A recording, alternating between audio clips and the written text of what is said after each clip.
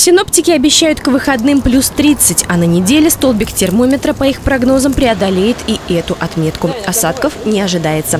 Это, безусловно, способствует красивому загару и тепловому удару, если не принять должные меры. А они просты.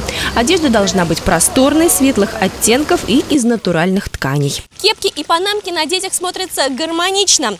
Поэтому малыши чаще всего ходят с покрытыми головами. Взрослые же головными уборами пренебрегают, говоря, что им они не идут. Хотя немного фантазии и шляпа превращается из спасительного средства в стильный аксессуар. Головной убор обязателен для всех, говорят медики. Хотя дети на солнце перегреваются быстрее, поэтому и гулять с ними стоит до 11 утра и после 4 дня.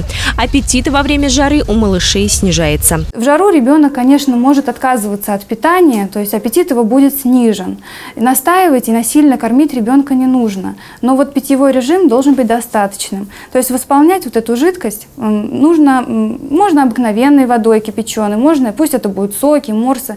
То есть что ребенок любит. В жаркую погоду для детей обязательно ежедневное купание. Взрослым также показано прохладный душ и обильное питье. При этом от кофе, газировки и алкоголя лучше отказаться. Кондиционером злоупотреблять не стоит, иначе вместо теплового удара вам может грозить простуда. А вот поездка на водоем, разумеется, в головном уборе – хороший способ спастись от жары. На пляж ходим, скупаемся, загораем. А головной убор носите? Конечно, носим. Обязательно, как без него. Ну, дома сидим, пересиживаем жару, э, гуляем либо рано утром, либо вечером, часов после семи. А вот видите, как я спасаюсь. Вот так и спасаюсь. А как по-другому? Кто любит жару, тот по-другому спасается, а я вот так.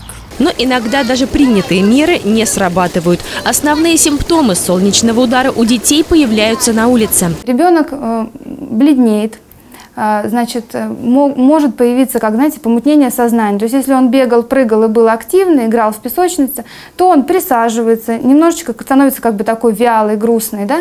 Глаза, вот можно сказать, как, знаете, как блестят. Вот, ну, если вот такое вот выражение. Губки сухие.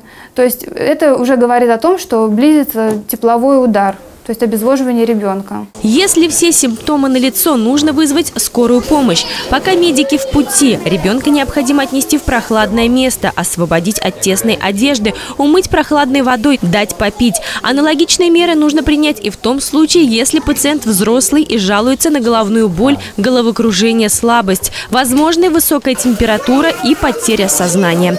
В большинстве случаев солнечный удар проходит без последствий. Хотя надетая вовремя кепка выпитый стакан воды. И о солнечном ударе вы знаете только в теории. Евгения Августина, Артем Ломоносов, телекомпания «Одинцова».